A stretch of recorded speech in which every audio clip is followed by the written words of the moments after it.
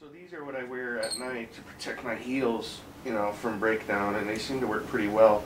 Sometimes they come off because of the spasms, sometimes they stay on, but all in all, they, I, I think they're helpful.